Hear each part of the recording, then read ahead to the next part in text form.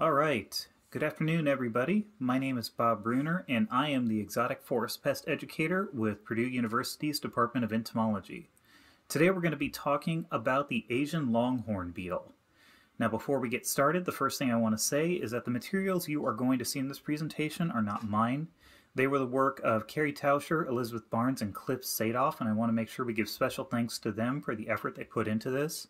And as always, for those of you watching this recording on YouTube or elsewhere, if you see any images in here that don't have proper accreditation to them, um, please email me, let me know, and I will go through and make sure that that is corrected. All right, with that, why don't we go ahead and dive into our presentation on this particular bug. So first things first, we always want to have a good understanding of where these insects come from and how they begin to spread throughout our country. And like many other insects that we deal with, the Asian longhorn beetle, like its name indicates, arrived from Asia. Much like with other insects, particularly emerald ash borer, its introduction was accidental. It was first discovered in Brooklyn in 1996 in some solid packing wood material. So pallets, other kind of packaging that you could find. This is where this insect was able to hide and accidentally get shipped here. Now, this isn't a unique occurrence just in the United States. Uh, this insect is an international problem, and it is even spreading within its home range. So there is nowhere on Earth you will find this insect that it is welcomed. It is definitely a problem no matter where you go if it is present.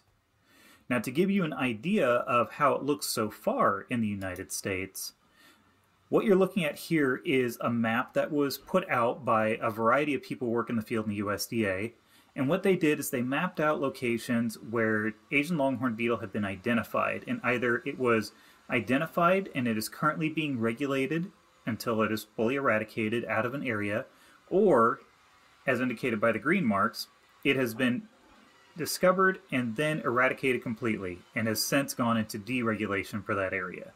So basically, red means it's present and it's being worked on, green means that it was present and it's been eliminated. There is one last indicator on this map too, the blue symbol, that means that there is an active infestation that is known about. And if you look closely in South Carolina, if you look where I have the circle now highlighting it, you can see that towards the coast there is a location in South Carolina in Hollywood where it was detected in August of 2020. Now this map is current as of 2020, so there may be a few additional locations to be added on here, However, you can be fairly certain that USDA and their partners are working very actively to make sure that this insect does not spread any further, because this insect does represent a very serious threat to a lot of our trees. Now, a little bit on Asian longhorn beetle life cycle. Um, most of the insects that you've seen me talk about have really, really well-defined life cycles and times of the year where you can actually rely on them being present. The trouble with Asian longhorn beetle is that they aren't really constrained too terribly except by the winter season. So at any given point, you may be able to find different portions of its life cycle present. Um, now, what we have is, if we look and we start with the adult beetle, what we're going to see is that females will chew an oviposition pit into the bark, and you can actually see that on some of the pictures here in front of you a little bit. You'll see scarring on the surface that has a very, very oval or circular look, and it will look like a little pit. And they're going to lay their eggs in that. Now those eggs are going to develop over time, given the right amount of temperature, and the larva will eventually hatch out. And you can see that proceeding forward as the early stage larva begins to chew its way through the tree. And if you look at the images over on the right side, you could see a gallery where there is a larva sitting, and it's just sitting right in one of the galleries that it's been feeding in. The larva will develop until it reaches a point where it's going to crawl through one of its galleries and then chew a new chamber where it's going to pupate. And you can see that this pupa that's on this image is a little bit different than what you may think of. Traditionally, when we think of a pupa, we typically think of like a moth cocoon or chrysalis, and those tend to completely cover what's going on inside of them. Well, the pupa of this beetle and many other beetle species is what's known as exarate. So that means that the pupa will literally be the shape of the bug that it's developing into. Um, sometimes they'll move around a tiny bit. They can't really move their legs or anything like that. They can really just kind of wiggle or crawl. But for the most part, this pupa is going to stay in that chamber in the tree until it fully develops into its adult form and eventually emerge from an emergence hole it, that if you look at the left side of the screen, you can actually see emergence holes that are slightly smaller than the size of a dime, which is very, very large. Now it's important to keep in mind that these larvae, what they are feeding on is they are kind of going deep into the tree's bark. They're not going to stay super close to the surface. They're actually going to be going more towards, let's say within individual limbs and shoots, they're going to be going for the pith. They are going to chew a little bit of the cambium to feed on phloem and other material, but they do tend to go a little bit deeper than the other insects that I've talked about in the past. All right, so one of the things that's really important to keep in mind is that Asian longhorn beetle can have a few different lookalikes amongst our native beetles. Um, thankfully, there are several traits about the Asian longhorn beetle that you can use to help you out. So if we look at the picture all the way on the left of the actual Asian longhorn beetle itself, you can see that this beetle has a very shiny black appearance with those white dots on its on the surface of its body. It also has blue tinged legs, which will definitely stand out to you. And then you can always look for the striped antennae that are um, alternating kind of a pale, very pale blue or white with black. Now the ones that are probably going to be most confused with are going to be these white spotted pine sawyers in the middle image right there. The beetles are actually in similar groups, so they're going to have a lot of body morphology that's going to resemble each other. Uh, and you can kind of see that if you compare those two images. However, the white spotted pine sawyer, yeah, it does have white spots on it. They're a little bit random, but they're not nearly as dark. They lack the blue coloration on the legs, and their antennae aren't striped. So you can use that as a tool to kind of inform you as to what you're looking at. And then another one that some folks may confuse is the cottonwood borer. Now the cottonwood borer really starts with a base of that kind of cream color or white, and then it has black spotting on it, but out of the corner of your eye, you may confuse it. And if you look closely, you can see that the legs do have a little bit of a blue tinge on them. But the easy way you can get around that is simply observe a little bit more closely. That um, Asian longhorn beetle is very shiny, and it is very, very black. So that can be a trait that you can use to differentiate between Asian longhorn beetles and cottonwood borers. Now, the reason Asian longhorn beetles are so nasty, the whole reason that we're discussing them today, is because of what they can do to a tree. There are very few insects that are quite as lethal to a tree as an Asian longhorn beetle.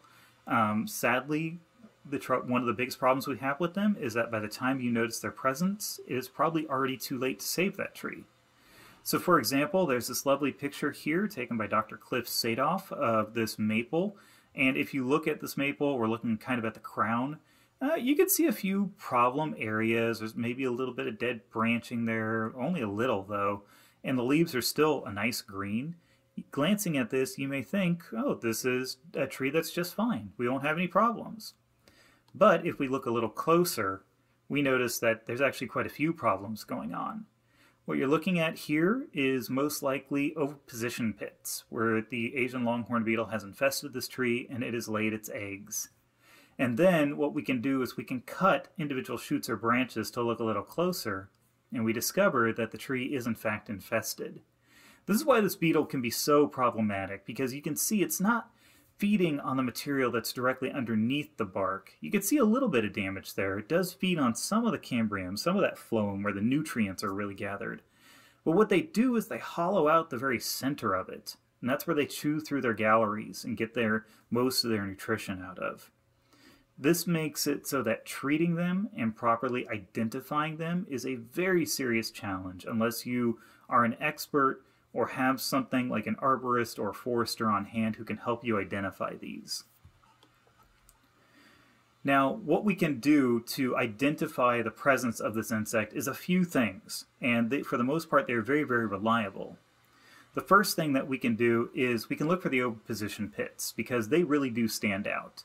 Those chewed areas that are kind of oval or circular shaped, little dips down into the bark, little concave impressions and those make a really good indicator that Asian longhorn beetle has been present.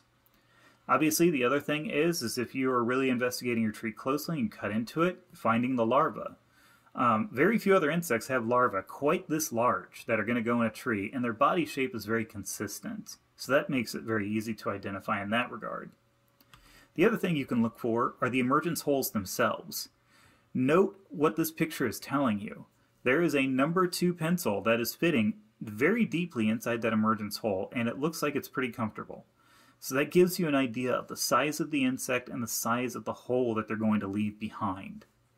And then one last thing that you can use to look for the presence of these beetles is look for little piles of kind of nasty sawdust that's gathering in the crooks of the trees between the branches.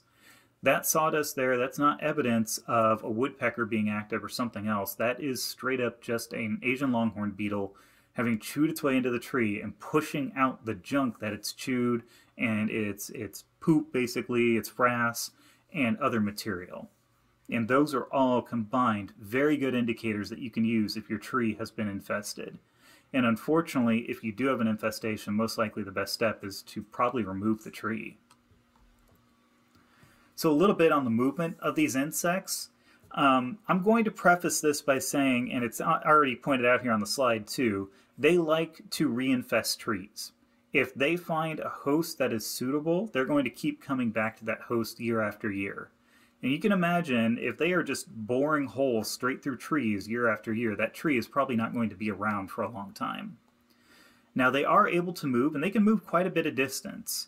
Uh, according to some research that's been done on them, they can fly on average 1.4 miles when they search for a new host or a mate, but they can also fly up to 8.5 miles. That's a pretty big range, especially in an area such as Indiana where we have a significant amount of hardwood. They can also be found infesting firewood, pallets, they can be found in lumber or logs, as well as other wood products. So for those of you who don't work specifically with lumber or wood, this means that we want you to pay attention to things like your firewood. Um, you'll probably recall 15 years ago or more now, we were telling you don't move the firewood because of the emerald ash borer. That is still very true. We are asking, nay, begging you, please, if you are using firewood, use it where it lay. You know, if you are getting it off your own property, leave it on your property. Uh, don't sell it, just keep it there, use it, and that way we can try to prevent the spread of this insect as much as possible. And this will also remain true for several other insects too, not just the Asian longhorn beetle. And if you've been to any of my other programs or watched them on my YouTube channel, you'll find that this will be true for insects such as spotted lanternfly. Um, obviously, those areas where emerald ash borer is still a problem, uh, and several others. So please don't move the firewood. So one of the things that we want to do is that identifying and understanding the life cycle of this insect is actually fairly easy. And it may actually be more effective to teach you the trees to watch out for and to monitor um, just in case Asian longhorn beetle begins to come into your area. With any luck, those of us in Indiana will for the most part avoid this, but it's always good to be prepared because this is a nasty insect for our trees. So why don't we start off with the most preferred hosts of this insect. So if we start with our most preferred or very good host, we're going to find that these insects will go after all species of maple, which is very unfortunate because we have a lot of maple here in Indiana, and we have a decent amount of maple syrup development in our state. We have uh, horse chestnuts or buckeyes is another very good host, as well as elm trees, willow, and that's pretty much it for the very good hosts. Now, the real problem starts to come in with our other hosts. So if we look at the way these insects are going to choose their habitat, we're going to operate off the assumption that they're going to go for the best host they can get first. You know, they want to go to where the best food is, and they're going to they want their young to feed on that food. But if they overpopulate a tree, they're not going to expect to get as much out of it anymore. They're fighting with each other on it. So then they're going to go to their next preferred host. And if we look at that list, unfortunately, it's significantly larger. So we've got birch, sycamore, poplar, mimosa, katsura, ash, golden rain tree, mountain ash, hackberry, and I'm sure there are actually several more that just simply aren't included on here. Um, now, some of those trees you may not find quite as commonly in Indiana, but just looking at that list, uh, birch, sycamore, poplar, mimosa, um, what few ash we still have, and hackberry are all definitely trees that are present and at risk from this insect. So it will represent a nasty problem for us. So going now into host plant ID, I know a lot of you are probably fairly familiar with identifying your trees, but it's always good to get a refresher on that one. And for those of you who aren't as good at it, well, here's a little bit of a lesson you can use. So let's start with our maples. Maples are perhaps one of the easiest to identify. Um, we just look for trees that have a leaf on it that resembles the Canadian flag, those nice pointy lobed leaves that are common on all maples, though there are a few variations therein. Um, the branching on the tree is going to be opposite, so where you have one branch directly on the opposite side of the tree or limb, there will be another branch. They also have winged seeds, though their wings are actually fairly small compared to other trees that do. And these winged seeds are called schizocarps. Now, primarily we are going to be talking about sugar maples here with this one because they're going to probably be the first tree they're going to hit. And we can use that as an example because it makes such an easy one to identify. So you're looking at leaves that are five-lobed with smooth margins and green flowers. The buds are going to be small and pointed, but their seeds are going to be fairly large and full. like I said, the wings are sharp, are short, and the bark is going to be a little bit peely or plate-like, but that is going to be dependent on region. For example, if I look at the sugar maple that's in my backyard, it doesn't really have that peely or plate-like bark. So it depends on where you live and maybe what cultivars that have been planted up this tree. Moving on, if we talk about our horse chestnuts or buckeyes, this is another one that's actually fairly easy to identify. If we think about it, buckeyes themselves, the seeds, they're very, very easy to identify. They are very hard seeds with that telltale eye shape in the middle of them that you can see with a very glossy appearance. As for the tree itself, the bark tends to be pocked and messy with no obvious or clear patterning to it. The buds will be very big and sticky, and you're also going to find that the leaves are palmately compound. Now what this means is if we look at the image there in the top right, you can see that there are two of the leaves right there. Now, those are actually the whole leaf themselves. You have uh, the petiole of the leaf with a certain number of leaflets attached to it that those aren't individual leaves. One way you can check to see if it's palmately compound, if it is indeed the leaf of a horse chestnut, when you break the leaf off of a tree, it will always break off um, normally where the uh, petiole meets its point of abscission, it's called, or uh, the place where the petiole meets the actual branch or twig. If it breaks off cleanly, that was you found the spot where the leaf connects to the tree. However, if you went up to one of these leaflets here and you tried breaking it off from the other leaflets it's attached to, it won't do so easily at all. That's because this is all one leaf. It's meant to stay together. So you can use that to help you identify these.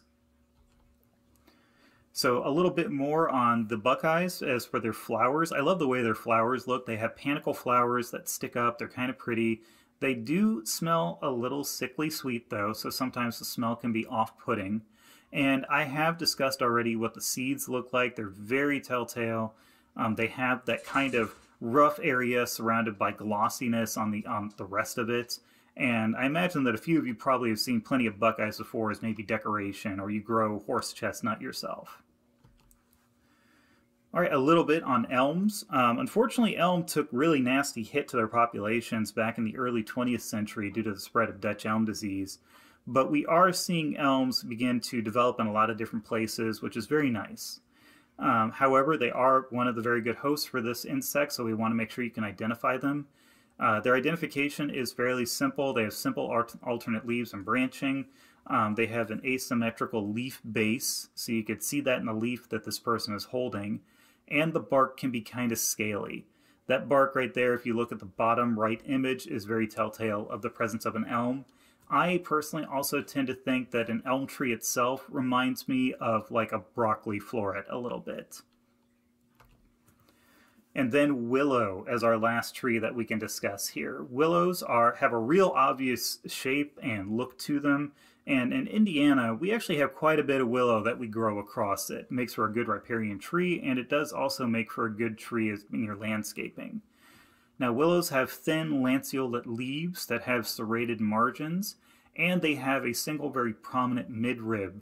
And you can see that kind of almost, but on the tree, there's a reason we call them weeping willows. They kind of look a little bit like it's tears or water coming down.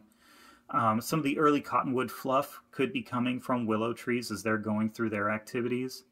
Now the buds are very, very tiny and they are held very tight to the twig or branch. And you can see that in the bottom leftmost image there where that bud is just hanging right on to the side of the tree.